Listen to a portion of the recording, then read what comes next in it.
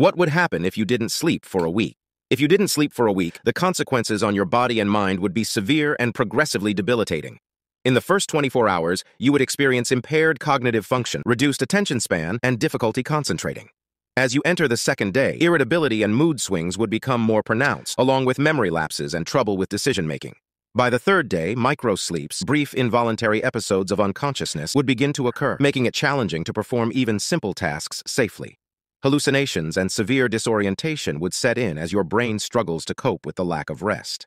By the fourth day, your immune system would weaken significantly, increasing your susceptibility to infections. Physical symptoms such as tremors, slurred speech, and impaired motor skills would become evident. As you reach the fifth and sixth days without sleep, the risk of severe mental health issues, including paranoia, anxiety, and even psychosis, would rise dramatically. Your body would experience extreme fatigue, and your ability to regulate emotions and bodily functions would be severely compromised. By the seventh day, the cumulative effects of total sleep deprivation could lead to a medical emergency, with potential for organ failure, severe cognitive impairment, and a significant risk of accidents or injuries. Prolonged sleep deprivation beyond this point can be fatal, highlighting the critical importance of sleep for maintaining overall health and well-being.